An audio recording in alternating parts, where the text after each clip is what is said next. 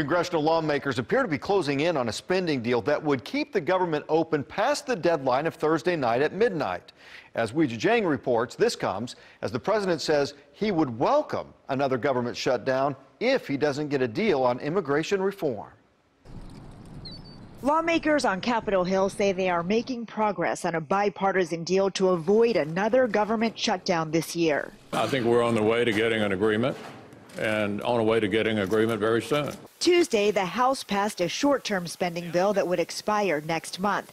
Senate leaders are working on a two-year agreement that would increase spending for both the military and domestic programs, such as combating the opioid epidemic. But President Trump says if Congress doesn't pass immigration reform, he'd welcome a shutdown. Let's have a shutdown. We'll do a shutdown and it's worth it for our country. Lawmakers from both sides of the aisle quickly denounced the comments. We don't need a government shutdown on this. We really do. I think both uh, sides have learned that a government shutdown was bad. He's the only guy that finds anything good in a shutdown. The president's remarks took many by surprise since the proposed two year spending deal doesn't include any immigration changes, which Congress is tackling separately.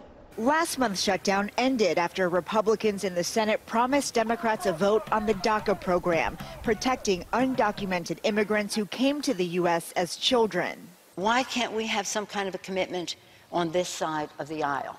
Wednesday morning, House Minority Leader Nancy Pelosi said without a similar commitment from Speaker Paul Ryan, she and many other House Democrats will not support a long-term budget deal. Weijia Jiang, CBS News, Capitol Hill. Current protection for Dreamers expires March 5th.